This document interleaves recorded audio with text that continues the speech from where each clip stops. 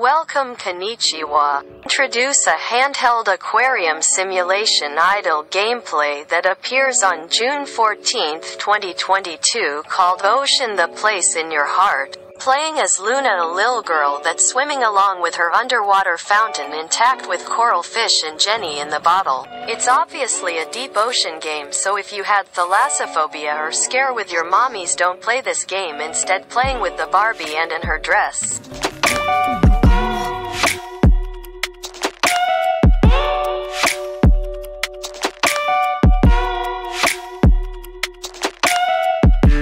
has 3 stars out of 5 from Dextune rating so if you like me call me baby from now on or I'll be haunting you down with Kraken instead.